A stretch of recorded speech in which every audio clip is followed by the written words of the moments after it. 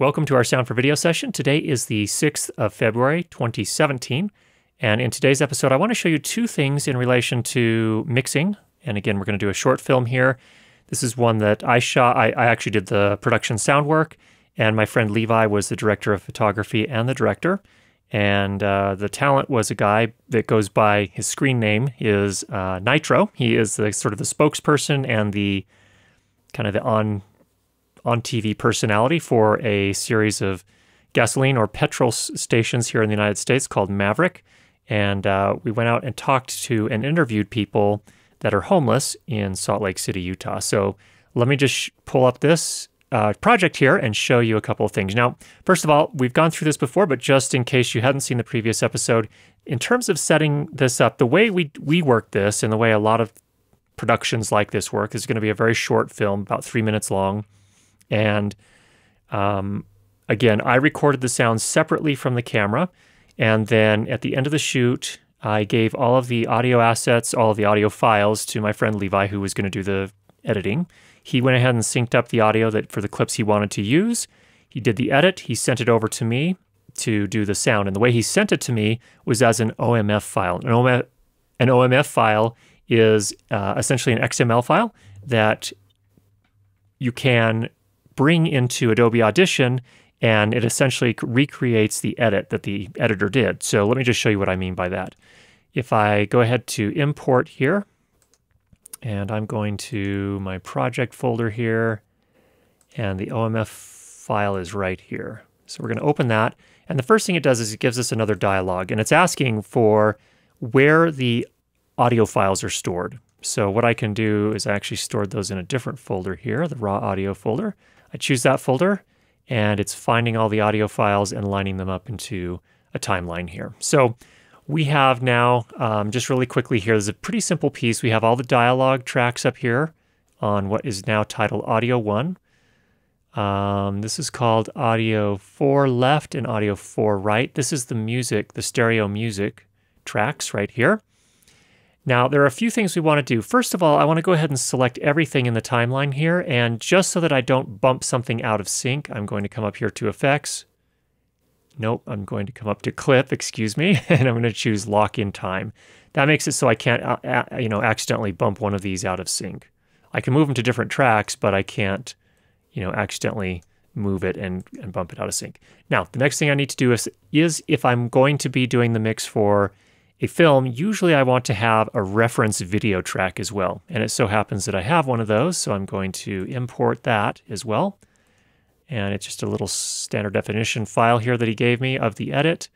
And what I do is uh, I just grab that and pop it up here on the first track, just like that. And if I put it all the way to the left, it will be in sync. And you can see it. In fact, it does end at the same time. So that is the first thing. Now, second thing I will do here is I like to generally rename my tracks. So I'm going to call this my DX main track, DX standing for dialogue, of course. And then here we're going to call this music left. And we're going to call this actually MX right, just to be consistent. MX being music, of course, in this case. And there we go. Now, the interesting thing is, is if I need to change the volume or the, the levels on the music, I have to do it on two separate tracks. And that's a little bit of a pain, just takes more time. Um, but if I want to be able to simplify that process, this is what I, the first thing I want to kind of show here. The first thing I would do is actually create a new track. So I'd come up here to multi-track track, and I'm going to actually create a stereo bus track. And we'll show you what all this means here. So I'm actually going to do some color coding here too. The video is this kind of bluish color. Let's go ahead and keep the dialogue green, and then I'm going to change these other two to the same kind of golden color that we have here. All right, so all I do is click on this little box here, and that'll let me choose the color, and I think it's more golden, like kind of golden, maybe orange. Actually, I think it's that color. Yeah, that'll do. Okay. Good enough. So now we have our audio left, our audio right, and now we have this new bus, and we're going to call this our MX bus for music bus. Now, what I need to do is I need to take these two tracks and route them into the music bus. And then once I've done that, I can use the fader right here to change the volume on both of them at the same time. So the way you do that is I'm going to expand these just a little bit, and I just use the scroll wheel on my mouse to do that while I'm hovering over these. And then you'll notice we have four little buttons up here. Right now it's selected on FX, which means show the effects for each of the channels or each of the tracks. I want to switch it to this one here, which is the routing or the inputs outputs. And so what I can do right now is I can see that the way this works, this track right here, it plays out to the master bus, which is right here. So this is the final mix right here. But I actually want to instead route this to my MX bus. So I'm going to go ahead and change this, choose bus, MX bus. Do the same thing for the right channel of the music. Choose master bus, and we're going to choose, excuse me, music bus instead. Now what happens when I play this back, I can use this fader right here to change the level of the music, and it's going to affect both of the music tracks at the same time. So let's play a little bit back. Um, and let me just kind of show you an example here of why I want to do this. um, let me play back uh, part of the film. We're about right here. I haven't touched the dialogue yet, so it's going to be really messy. But first, what I want to illustrate is how loud the music is in relation to the dialogue. Um, and actually, let's get a part where he's doing a little more talking here.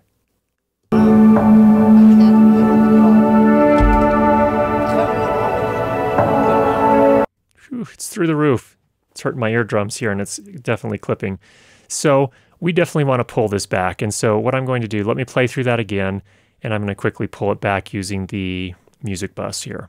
Don't want to see me. Yeah. Um, I can't really hold a job. Yeah. Can't get along with people good enough. They won't give me social security because they don't say I'm crazy enough. Well, you get along with me just fine.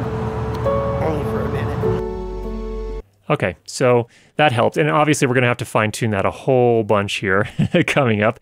But another thing that's nice about this as well, if I come to the effects now, um, we're going to show you something here. I've talked about this before as well as usually what I like to do to music is when I have dialogue with music that's supposed to sit behind the dialogue, what I like to do is do some EQ on the music to kind of carve out a space in the middle frequencies to make room for the dialogue. So instead of having to do two separate effects, one for the left channel and right channel of music, I can just do that here on the music bus.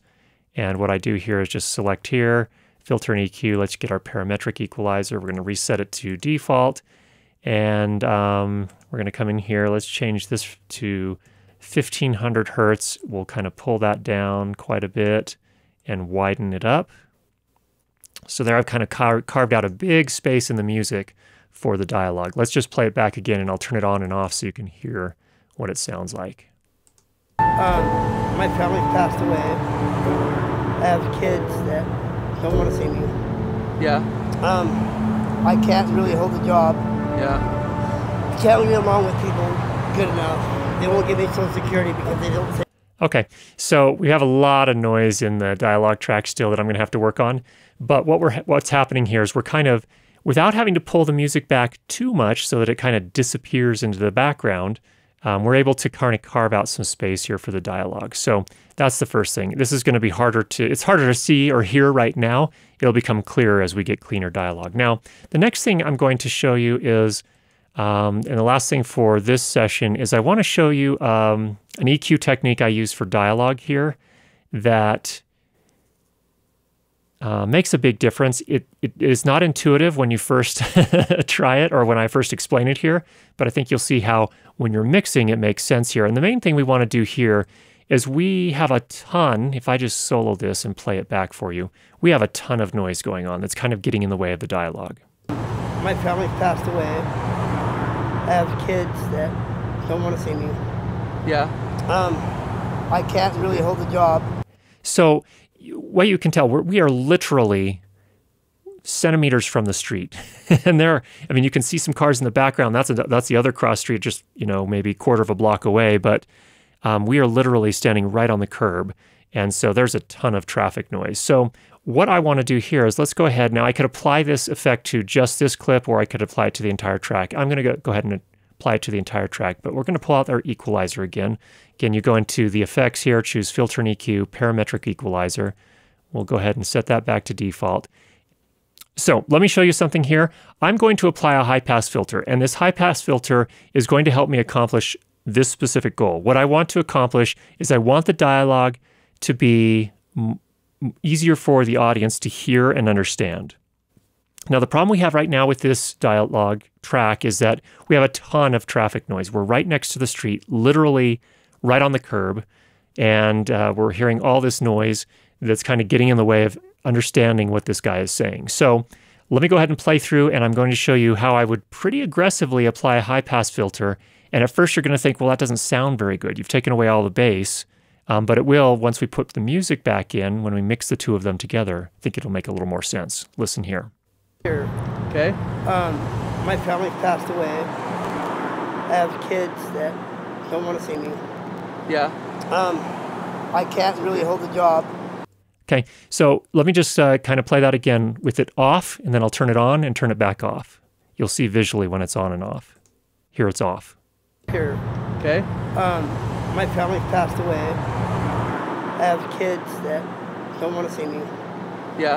Um, I can't really hold a job. Yeah. I can't get along with people good enough. Okay, so that sounds kind of thin, right? Let's put the music back in and see if we can hear it a little better now. Okay. Um, my family passed away. I have kids that don't want to see me. Yeah. Um, I can't really Okay, not perfect. I have a lot more work to do, but now you can see how things are changing a little bit here. So let's uh, let's do a couple of things. I'm going to turn off this EQ. I'm going to turn off this EQ, and let's listen to it again. up here. Okay. Um, my family passed away. I have kids that don't Okay, let's turn them back on, and listen one more time. here. Okay. Um, my family passed away. I have kids that don't want to see me. Yeah. Um, I can't really hold the job. Okay, it's a subtle difference, but it makes a difference. And we obviously have more tuning to do to get everything just right. But you can see how those different techniques make mixing a little bit more straightforward. So, what we covered here again, just in review, we made a music bus to make it a little bit easier to manage the two separate music tracks since we really want to apply the same things to both of them. We want to be able to pull the fader down for both of those in unison, and we want to be able to apply this equalizer to both of them without having to do it on each track individually. And then we also made an EQ here, which allowed us to apply a high pass filter and get rid of some of that low frequency traffic noise that was kind of muddling, again, getting mixed up with the music and kind of creating all this energy that made it harder to hear what our talent were was saying. So hopefully that was helpful for you. Hopefully that makes sense. And uh, uh, we will probably cover a lot more detail, of course, on mixing in the future. If you have any questions, go ahead and leave those down below. Get out there and make some great recordings, and we'll talk to you again next week. Take care, everybody.